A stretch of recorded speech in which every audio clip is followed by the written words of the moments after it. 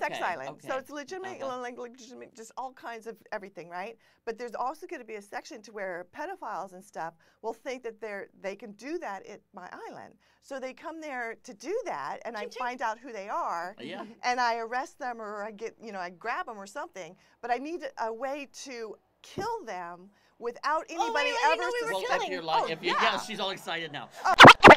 Then I had to do a slow acting poison. Right? So Yeah, like so three, that- months, yeah, three months later. later, And it no hits charcoal on the island at all. No Yeah, because usually when you poison people, you use. Oh, charcoal. right, right, right. Oh, okay. Yeah. Sorry, apparently oh, I see. I'm Yeah. more proficient in poisoning than you That's are. right. Well, you-